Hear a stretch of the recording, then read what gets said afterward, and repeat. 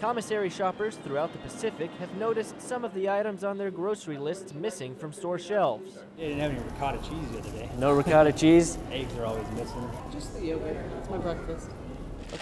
Many customers believe this is a minor issue that will pass. I don't think you'd have short on that many items. I mean, it's happened before, so this is probably one of the longer ones. On January 7th, the Defense Commissary Agency issued a news release stating ongoing negotiations between the Pacific Maritime Association and labor unions representing West Coast dock workers have delayed shipments to the Pacific up to 10 days. Every year we have a little bit of issues this time of year with port closures and, and holidays, but this year has been a little bit worse because of uh, the slowdown of containers coming across the Pacific. Commissary customers in the Pacific see a decrease in products like juices, yogurts, or creams, but there's a plan for that.